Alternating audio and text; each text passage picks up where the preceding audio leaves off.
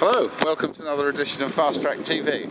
This is another aerial view, view of the aerial. So here we are in Crosshaven, there's the navigation lights. Crosshaven, no we're not, we're in Wicklow.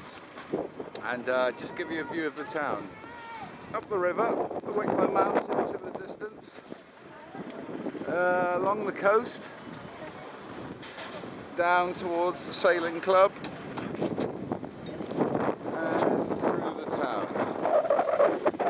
And a quick hello from Nigel. That's it.